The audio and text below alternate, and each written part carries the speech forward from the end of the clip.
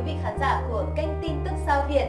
Hải đã rất hy vọng rằng trong những phút tiếp theo của chương trình thì quý vị sẽ có những giây phút thật sự thư giãn và thoải mái. Nhưng quý vị cũng đừng quên bấm nút theo dõi kênh và bật chuông thông báo để chúng ta có thể cập nhật được những tin tức mới nhất hàng ngày quý vị nhé. Còn bây giờ thì mời quý vị chúng ta hãy cùng đến với những tin tức nóng hổi nhất trong ngày hôm nay.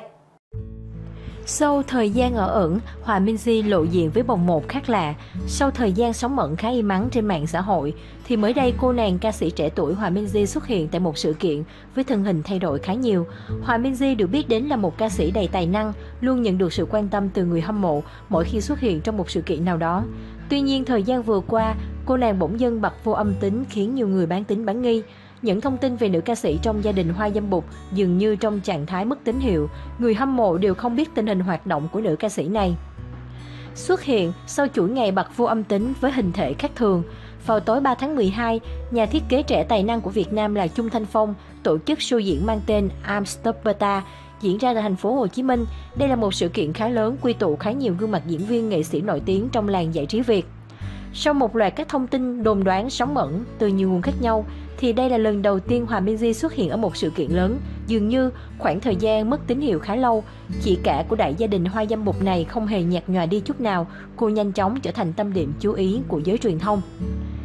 Trong sự kiện vừa tối qua, Hòa Minzy xuất hiện trong một cánh màu vàng ánh kim đầy nổi bật và thu hút mọi ánh nhìn, không quá thiếu vải và sexy, nhưng Hòa Minzy vẫn giữ được phong độ và thần thái như ngày nào, khiến người hâm mộ không khỏi suýt xoa. Tuy nhiên bên cạnh đó, cộng đồng mạng cũng không quên soi ngay hình thể của Hòa Minzy, đặc biệt là vòng một siêu to một cách bất thường. Tuy nhiên, với vòng một có chút bất thường của Hòa Minzy trong sự kiện này đã khiến các fan không khỏi đoán già đoán non.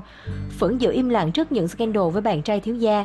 Sở dĩ người hâm mộ đặt ra nghi vấn là Hòa Minzy ở ẩn với nhiều nguyên nhân khác nhau. Vì trước ngày tạm dừng hoạt động nghệ thuật trong một thời gian dài, chị cả nhà hoa dâm mục đã viết tâm thư gửi fan với lý do ấp mở Em có nói nếu em không xuất hiện thường xuyên mong mọi người đừng lo, em không có bệnh gì đâu. Em chỉ đang dành nhiều thời gian hơn cho bản thân, gia đình và thực hiện những điều em ao ước từ lâu. Em cần thời gian để cân bằng lại cảm xúc của mình và quay trở lại một cách tốt đẹp nhất khi mình tự tin nhất. Nhìn cận cảnh có thể thấy vòng một siêu to khổng lồ của Hòa Minzy. Đem so với các hình ảnh trước đây khi đi dự sự kiện của chị cải nhà hoa dâm bụt thì cách xa một trời một vực. Thời gian ở ẩn, Hòa Minzy ít khi gặp nhật hình ảnh riêng tư của bản thân hay những lần tham dự sự kiện, cô nàng chỉ chia sẻ hình ảnh liên quan đến những dịp trọng đại trong gia đình. Về tình huynh đệ trong showbiz, Hòa Minh Di vẫn giữ được sự thân thiết trong đại gia đình Hoa Dâm Bột của mình. Cách đây hơn một tháng, chị cả nhà Hoa Dâm Bột chia sẻ về việc bước chân sang một lĩnh vực mới là kinh doanh. Nhưng việc kinh doanh bên ngành hàng nào thì vẫn là một ẩn số. Xuất hiện tại sự kiện với hình thể khác lạ, Hòa Minh Di khiến fan dấy lên nhiều nghi ngờ. Cộng đồng mạng và những ý kiến sau những hình ảnh của Hòa Minzy xuất hiện sau sự kiện vào tối 3 tháng 12 được chia sẻ trên trang cá nhân thì nhanh chóng thu hút sự quan tâm từ cộng đồng mạng.